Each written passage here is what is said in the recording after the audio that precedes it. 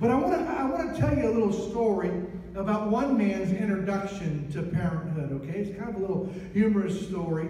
This man and his wife were newly married, and they wound up taking a mission trip to Mexico. They wound up taking about 25th and 6th graders down to Old Mexico. And uh, part of their assignment was to visit a church down there. And so they got to the church, and and, uh, and the church service was already in progress. They arrived a little bit late. The worship was going on, and, and it was a church that sat about 100 people, and but the place was just packed out. And, and so they took the kids and they lined them all around the back of the sanctuary. And but they took the, the husband that was helping, he didn't have any children, took him right up to the front row and had a chair reserved for him. And uh, so he didn't know, this guy didn't speak a word of Spanish, nada. He didn't speak anything of Spanish. And so the service was going on, and he said to thought to himself, I don't really know what's going on or what to do. And so he thought, what, what, what should I do? He thought, well, I'll model what I'm doing after the guy that's sitting right next to me. So started to work out pretty good. You know, when he stood up, this guy stood up. When he sat down, he sat down. When he clapped, the guy who was an American, he didn't know what he Spanish clapped. He didn't know what he was clapping about, but he clapped. When he smiled, he smiled. When he opened his Bible, he opened his Bible. He didn't know what verse to open it to, but he was doing his very best to model himself after that guy. It worked pretty good for the majority of the service. Well, the service came to a close, and um, and was coming to a close, and it seemed like the pastor was giving some announcements, and all of a sudden, a big, uh, you know, bunch of applause began to erupt all over the congregation, and uh, and everybody seemed to be real happy. And uh, the next thing you knew, the guy right beside him stood up, so he just jumped right up to his feet too. Turned around and he noticed that not another person in the building was standing up. And he noticed that the guy he was modeling himself after seemed to be very upset. Well, he went ahead and sat back down when the other guy sat down. And right after the service, the pastor who spoke English and Spanish came up to him. He said, Well, it's pretty obvious you don't understand Spanish. He said, No, sir, I don't understand, I don't understand a thing. And he said, Well, he said, he said, he said, Do you understand what happened at the end? He said, No, I don't. He said, Well, what I announced was that Maria Costas has had her baby, and would the proud father of the baby please stand up? Well, that was his introduction to parenthood. How many of you know uh, being a parent isn't easy? Sometimes you kind of feel like a bumbling American. You're trying to do the best you can, and it seems inevitable that you're going to make some mistakes along the way. I don't know how you felt when you brought little Johnny or Susie or whatever your child's name was home from the hospital, but I remember bringing Dustin home from the hospital. And I'm going to be honest, I was about as overwhelmed as a, a young father could be. And uh, and I remember looking at him and his little toes and his little eyes and his little fingers. And, and I told my wife, hey, honey, I have no idea what I'm doing. I'm glad she knew a little bit more than I. But how many of you know parenting is a huge job, right? And, and, and, and being a parent is a great responsibility. And this morning I want to ask the question what does God want from us? What is the goal of parenting? And here's what I have discovered in all these years of experience that I've had in life and in ministry. I have discovered that things are more caught than they are taught. Children pay far more attention to our behavior than what we say. I want you to know that your children are going to model themselves after you. Now, they're not going to admit that. They would even die to believe that you have any effect on their life. But it's true. As a parent, you're walking the road before them and they are coming behind you. Children have never been very good at listening to their parents, but they never failed to imitate them. Am I right? The verse, I want to share a verse to kind of set this up today. Out of the book of Proverbs 20 and verse number 7, the scripture tells us this. It tells us that a righteous man who walks in his integrity, how blessed are his sons after him. What is this verse saying? This verse is saying that if we walk in integrity as parents, if we walk in the narrow path, the straight way, if we live as we should live, then our children are going to catch our integrity. They will follow in our footsteps. And so I want to talk to you today about five life areas.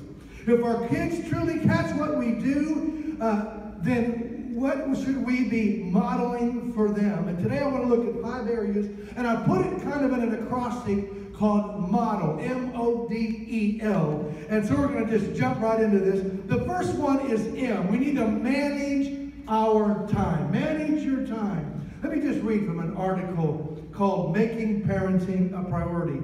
This article says, Does work get in the way of being a good parent? Does being a good parent mean you're bound to run into trouble at work? And the article goes on to say children are losing out on their parents' time through the demands of the American workplace, and the case can be made that kids are paying a high price as a result. The article goes on to say this. It says, experts from a range of fields confirm that times children spend with their parents is not just nice. It's vital to every aspect of their healthy development. Not getting enough time with parents, they contend is detrimental to thinking and coping skills, school performance, and even their health. Just parents spending time with kids around the house. Now, work in today's world is phenomenal. No, most people work a lot more than a typical 40 hour work week.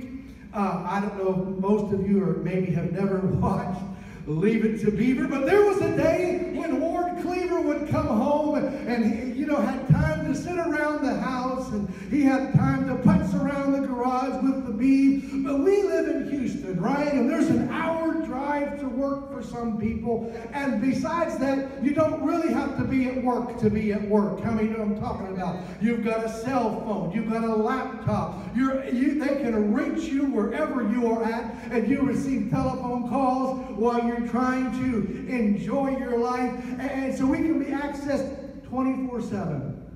How many of you heard about the dad who, uh, you know, had, he had just had so much work, he brought some work home to do? His little girl comes up to him and she says, Daddy, can you play with me?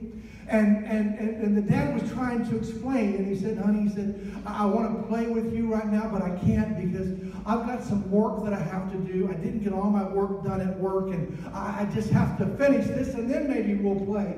And the little girl sat there like this for a moment and put her hand on her hip like this, and she said, well, Daddy, she said, maybe they can put you in a slower group at work.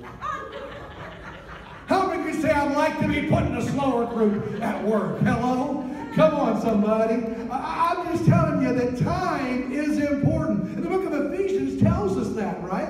Ephesians 5, verse 15 says this Be careful then how you live, not as unwise people, but as wise, making the most of time because the days are evil.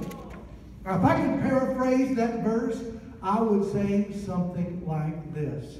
When your values are clear, your decisions are evil. Are, are easy. Excuse me, I'm sorry. Let me say that over. Whoops. When your values are clear, your decisions are easy. Hmm.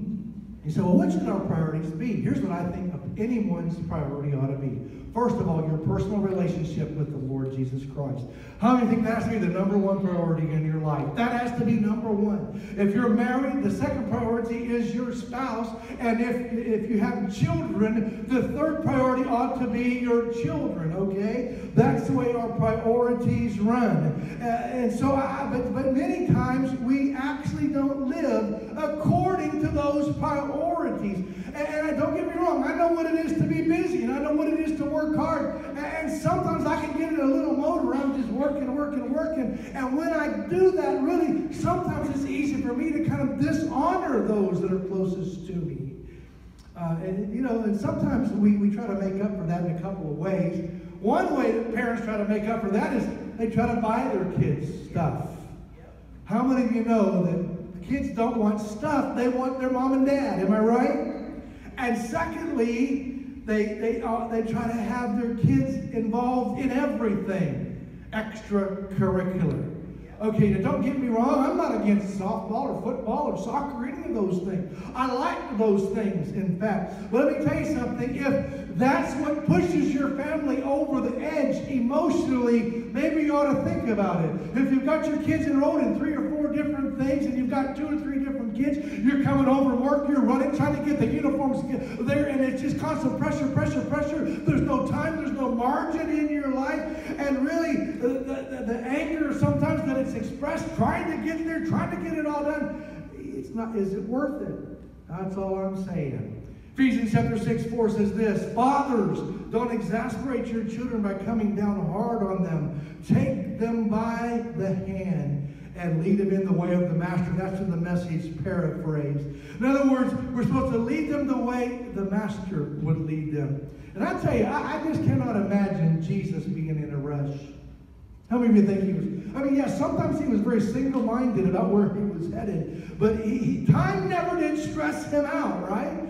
Uh, and, I, I just can't imagine him being that way. And so, one area of life that we can model for our children, even my, for our grandchildren, even great grandchildren, is being able to, to manage our time wisely and, and, and make our kids a priority, make the children a priority. I, notice what I didn't say? I didn't say make sports a priority or, or make extracurricular activities a priority. Make priority. And if all of those things fit into that, that's just okay as well.